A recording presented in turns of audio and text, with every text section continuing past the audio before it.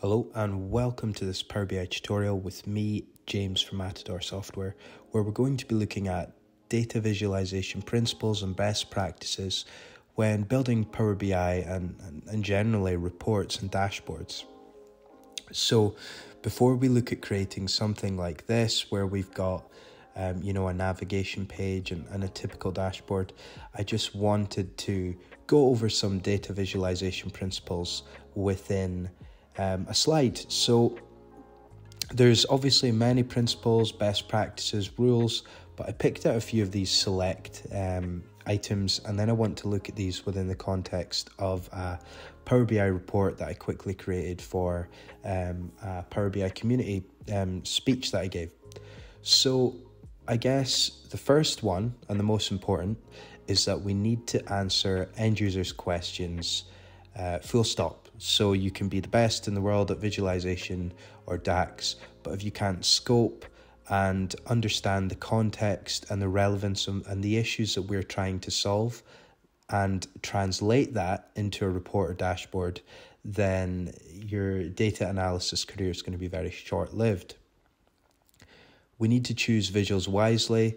Obviously, we have a huge range, but sometimes keeping these simple um, and, and knowing which visuals to use when is very powerful.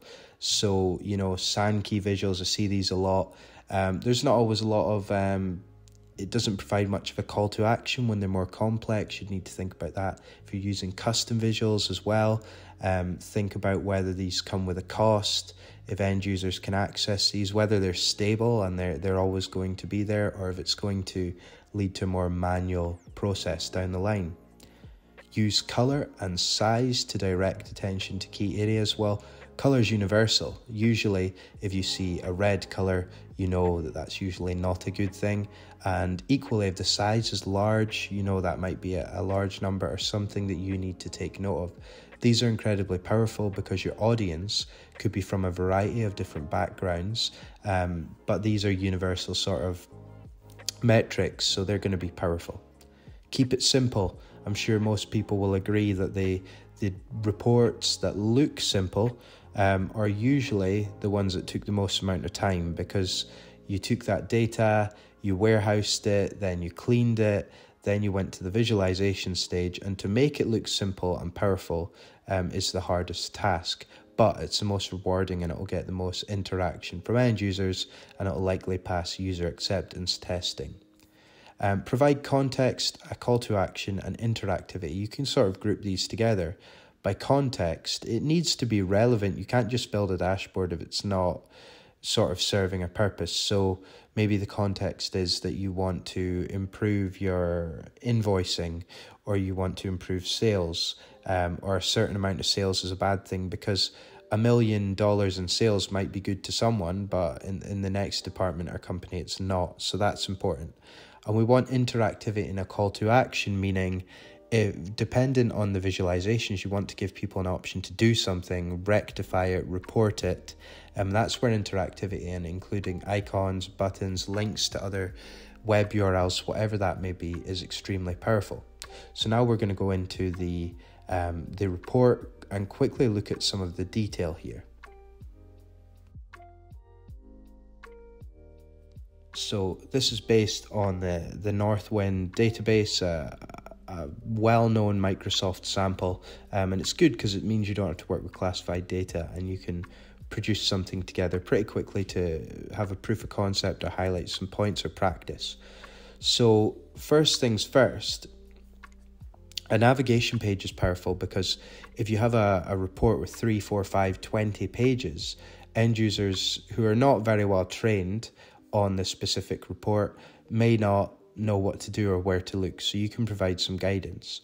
We should always look to also give people um, an insight into what the report actually covers. So, powerful insights and sales metrics and what it enables people to do. A um, little bit of navigation, give them a button with some hover effects. People like that. And then you can have something like a link to a ticketing service so that uh, the report developer yourself and the BI organization can go and make changes and then we can improve by iteration. And we'll look at the invoicing side. So we'll look at how we can apply some of those data visualization best practices here. So, first of all, simple navigation page. People know how to navigation pane. Sorry, people know how to operate these. So very simple, a bit of a custom shape to to indicate to users what which section they're on. Um, but straight away at the top of the page, we've got some some interactivity, and we're providing context because this is concerning invoices. People can click the Teams icon to view PDF invoices and get a bit more detail or depth. We want to provide some layering. Um, and they can click on another icon to view latest invoicing targets. So that provides the, the context as to why we're actually doing this and presenting these metrics. Again, um, simple shapes uh, provide the foundation for this Canvas piece here, um, but we give a bit of an introduction, what the key invoicing statistics, and we use the color red to highlight people's attention to what these actually are. Because you can just present figures, but if they're not uh, related to something, they're pretty much useful. So we've got decreased freight costs, expand shipments globally, improve sales performance. So you can see again the color red highlighting potentially not so good things. Our freight cost per percentage by income is 16%, and the average load cost is too high. Now, one of our objectives was to decrease that. So then we can um, we can prompt people to do something about that, and so on. Here we've got build income by shipping versus shipping costs. Now you can see the sales fluctuates greatly, but the shipping cost doesn't. That's concerning. So we've chosen the right graph because we've highlighted that. And then we've got again a call to action where maybe the supply chain or logistics manager can go and view the latest freight import charges to figure out why this is happening. And as we had decreased freight costs, this is uh, and obviously improved sales performance. These are the two key metrics that we want to display. We've also got a nice just DAX formatted piece to show when the data was last refreshed because that's going to be really important that people see that in plain English when they're working with um, data. And then yeah, people, it's interactive. We I grayed out the um, X and Y axis, that's personal choice, but I think we've got enough data here and we don't really need it there. And like I said, make use of space, keep it simple, try not to overload people. And in this pretty simple dashboard, in terms of level of visualization um, and space, we've actually been able to keep it clean. There's a nice theme, and people can really dive down into the detail, understand why things are happening, and they've got a call to action so they can go and get some context, depth, and fix issues. So, yeah, hopefully, you've seen how we can tie together some data visualization principles, make a clean looking Power BI dashboard and report. Um, and as usual, if you like this content, please feel free to like, comment, subscribe, and share. Thank you.